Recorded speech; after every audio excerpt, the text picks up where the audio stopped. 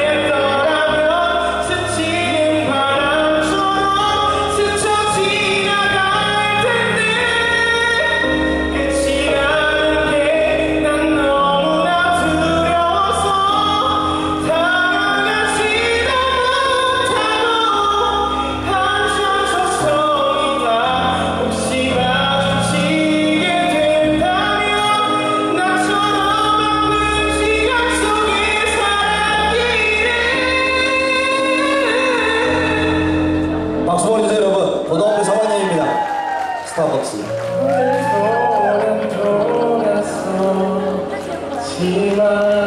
잘했어 이리와 그래도 내가 말아줄게.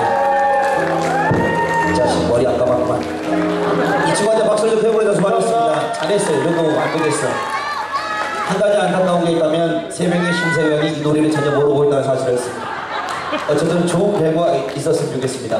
자 이렇게 해서 오늘 무대 위에서 소리자들의 노래가 들어봤는데 실은 이제 오늘 오기로 하셨던 나골에서 지금 많이 준비하셨는데 이게 지금 그 배가 뜨질 못해가지고 이제 못 하신 분도 계시고 갑작스러운 또 일정인데 못 오신 분들 계셔가지고요. 어찌됐든 제가 어 오늘 많은 분들을 모셔서 이렇게 함께하게 됐는데 결과를 잠시 후에 발표하겠습니다. 자 심사 직결을 좀 해주시면 감사드립니다. 잠깐만 혹시나 나는 오늘 노래 신청했는데 노래 안 부른다 있어요 혹시? 제가 여러 차례 그 불렀습니다만은 안 나오셔가지고 제가 예 우리 그 저쪽 면장님은 노래 아까 하셨잖아요 그죠? 예. 자 그러면 어, 심사 집계를 좀 해주시고 어, 초대 가수의 공연을 듣는 동안 심사 집계하고 바로 이제 그 발표하고 난 뒤에 어, 저희가 결과를 발표하겠습니다. 그리고 나는 오늘 그 보니까 노래를 아쉬워하시